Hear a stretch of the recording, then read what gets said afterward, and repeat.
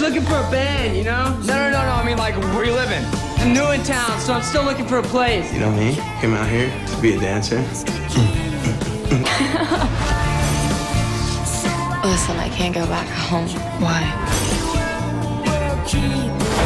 I know a job you can get where you can make a quick 450 bucks for just a couple hours work. Can I help you? I was wondering if I could get my photo taken. You know the kind of pictures I take? Yeah, I know.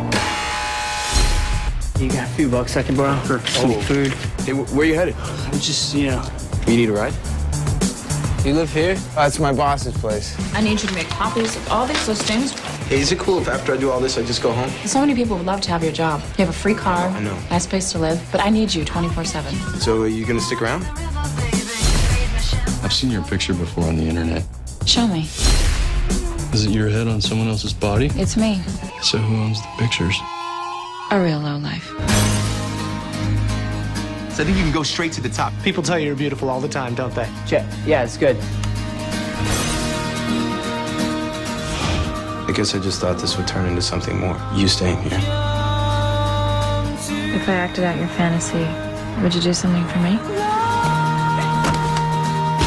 Where are the pictures? Yeah, my life is a joyless existence. I, I work, I sleep, I do a bit of pot, basically totally alone and lonely all the time. Are you glad you asked? Yeah, I am. Hey, um, I was.